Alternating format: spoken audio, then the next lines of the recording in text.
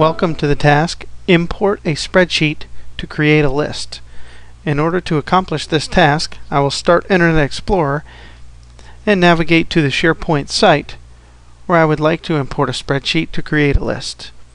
Once I'm on the proper site, I will open the Site Actions menu and select the Create option. On the Create page, in the Custom Lists column, I'll click on the Import Spreadsheet link.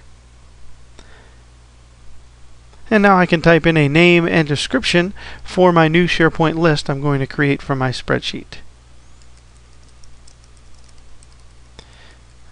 Alright, there's a good title. Let me fix the typo.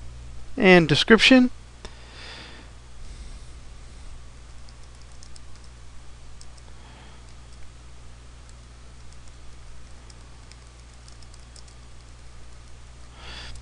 And now I can, in the import from spreadsheet area, I can click the browse button to find my spreadsheet on my local hard drive. There it is, revenue by affiliate. Select it and click the open button. And now click the import button.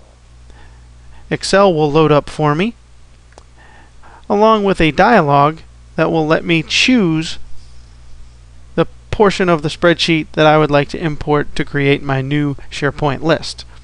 If you have a specified table range or a named range, you can choose those options in the range type field and the desired range in the select range field. In this particular spreadsheet, I do have a named range and it's called revenue by affiliate. And you see it contains the cells A3 down to G13. As an alternate method, could select range of cells and we'll go ahead and select it. And you see by using the keyboard you can change the range to exactly what you want and then click the import button.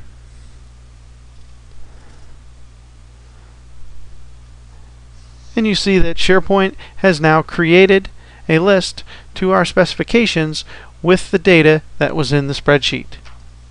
This concludes the task. Import a spreadsheet to create a list.